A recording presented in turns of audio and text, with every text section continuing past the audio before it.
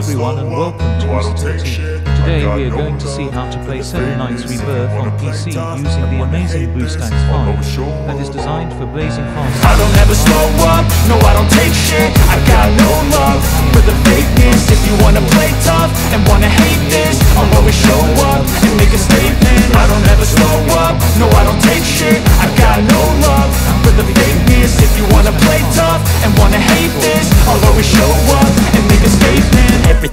so instinctive and so passionate. Every word I move so descriptive like an adjective. I got a vendetta against people who patented Being negative when you should be getting after it. the one we prefer. I got facts over facts over tracks, this and that Spitting slow, spitting fast, I could roast, I could gas Think I'm okay at last, but I don't know if that can erase all the past And the pettiness, a reflection of the emptiness Hilarious, you think you're worth my time, you're delirious. Mysterious, because you hide behind a fake exterior. Inferior, you know I'll always be a bit superior. Get off of me, this ain't no humble brag. I want you to hear words, you can say them back. I want you to feel free from the chains at last. And to believe in what you got, it was built to last, yeah. BlueStacks, but you can Now that I've been put through hell I never got the anyone's download help. And I had to do it all it is. myself This is the download. It is a file to I don't ever slow up, no I don't take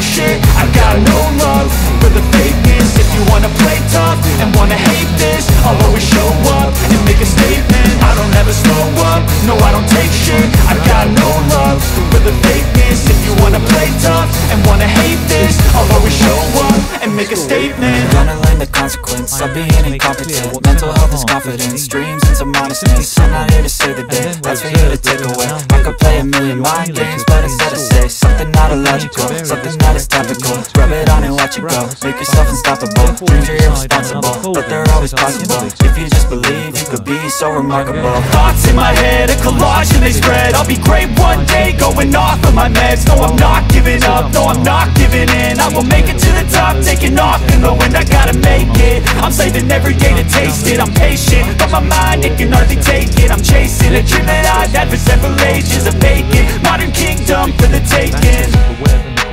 Now that I've been put through hell I never got anyone's help I had to do it all myself Proceeds with the installation phase. I don't ever slow up, no I don't take shit. I got no love for the fakeness. If you wanna play tough and wanna hate this I'll always show up and make a statement. I don't ever slow up, no I don't take shit. I got no love for the fakeness. If you wanna play tough and wanna hate this I'll always show up and make a statement. Built to provide stability and performance during long gaming sessions. The installation has already finished for me. At present, the emulator has been started automatically. As you can discover, down here, there's a progress bar that will fill up so when it comes to the finish, the emulator will be launched for the very first time.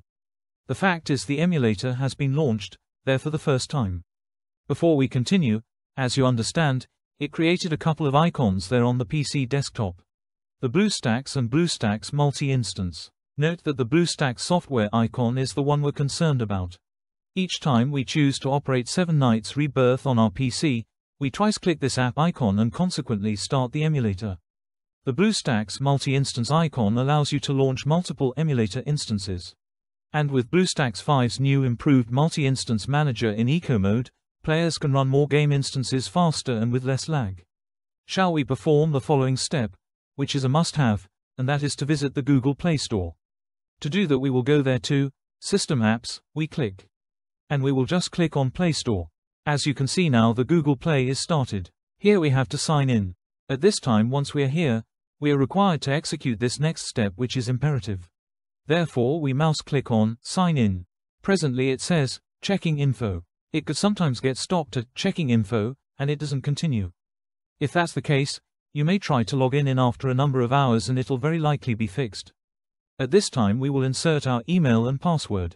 The email address has to be a Gmail email as well as its corresponding password. For example, you can utilize the exact same email you use at this moment in your own YouTube account. So that I am going to type in my data and I'll revisit after I have done it. Voila!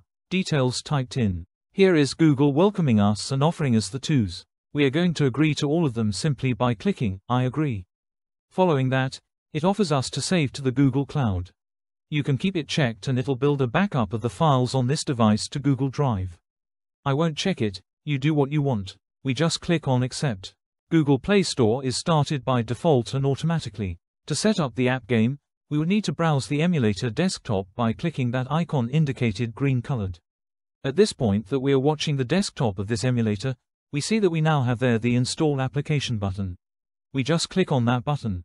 On this page we get the game app. So let's mouse click here on the Install option that I am just highlighting now in green. This action will begin the software installation. At this moment it will install the game app, it may take some time or perhaps it might possibly be almost immediate. It again all varies on the connection to the web. This has actually ended installing. Now, let's go to the emulator desktop by clicking this specific button I'm highlighting in green, that allows you to launch 7 Knights Rebirth for the first time. We are now on the emulator desktop, and we're going to mouse click on this new 7 Knights Rebirth app icon which was provided. This game app is launched for the first time. There we end up with it, I'm able to mouse click anywhere on the screen and also make use of the keyboard. I should discuss the volume of that emulator. It is here. We use the icon of higher volume as well as the icon of lower volume, this way we won't use the Windows volume to increase or decrease the sound experience of your emulator. And also to enjoy the experience to the maximum, we can activate the big screen, for which we have two alternatives. This one is the first one. We click on that icon that I am basically identifying in green. Thus the screen is maximized, coming with one border at the top, one on the right side and one at the bottom. Assuming that we need to launch the game in full screen, we mouse click on this game icon. And then we would likely already be experiencing and enjoying the game in full screen function. To get out of the full screen mode, hit the F11 key. And then we would probably already play in normal computer screen setting. At this point, I am starting to present you the keyboard mapping and that is extremely useful. That way we will certainly be ready to utilize the game application a lot more effortlessly. The first thing is to click on this application icon. And here you will have the ability to make the necessary adjustments. I can leave the default settings, but if you require to improve this, you can easily do so without having problem. Clearly, the emulator is totally in our own language. Once in a while it happens that the emulator is presented in the incorrect language, for instance, in Chinese and as a consequence to set it in the proper language we click here to the cogwheel. Then there within other configurations, we just click the language drop down. We can easily choose the language we like, German, Chinese, and so forth. As soon as the language is decided, we are going to save, the emulator would restart, as well as the game application, next time we start it, would of course be in the preferred language. At present, you can find another detail that we must take into account, and this is that we will get a message from Gmail indicating that a completely new machine has been connected with this Google account. It is going to question us if we are the individuals who have connected that electronic device. That's right, we must not be troubled, as the emulator is emulating an Android device. So you can discover which smartphone or tablet is being emulated, we visit here, to the cogwheel and we simply click on it. Be sure to go here to the model choice. And here we realize that the emulator is emulating a Samsung mobile phone.